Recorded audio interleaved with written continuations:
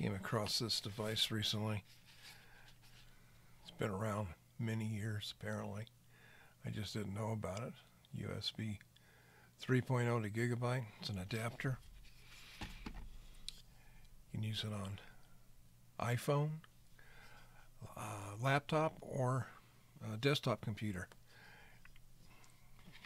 For about three years or more, I have been arguing with my internet service provider about the speed, internet speed, of my laptop being slower than the internet speed on my desktops.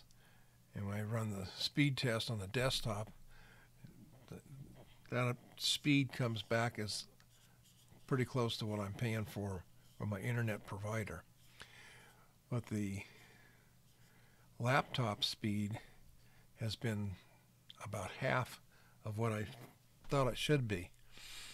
And I've I've contacted my internet provider complaining about it and I got excuses from them like, well, your router is out of date, which it isn't.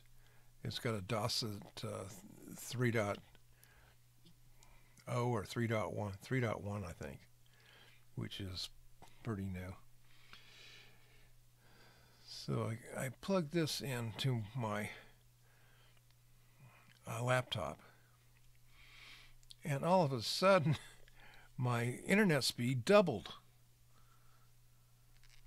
I couldn't believe it, and you'll see that in a couple of short clips that'll that are attached here.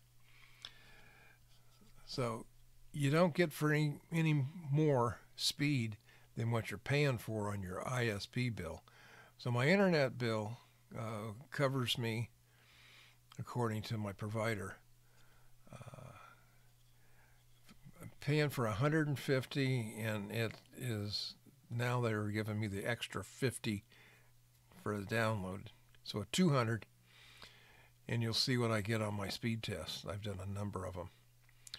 You know, a simple thing of unhooking the Ethernet cable from the port in my laptop and using this device through my USB port,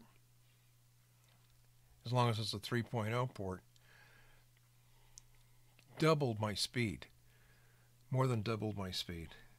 So I thought maybe some of you might be interested in that if you come across the same thing where certain devices of yours have slower speeds than a desktop using the you know everything else being the same you know we're on the same network you have the same service provider.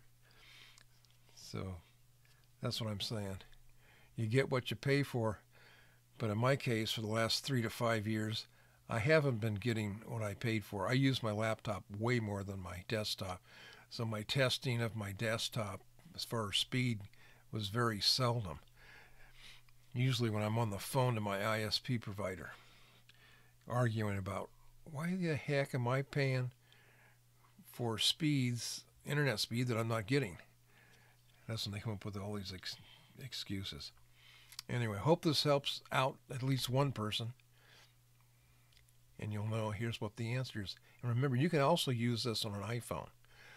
Now, uh, YouTube has many uh, reviews and unboxings of this device. But this is not an unboxing other than what I just took apart to show you the packaging of what it is. So stay tuned and you'll see some more things here shortly. And by the way, this is only using internet cable and not using Wi-Fi for any of the tests.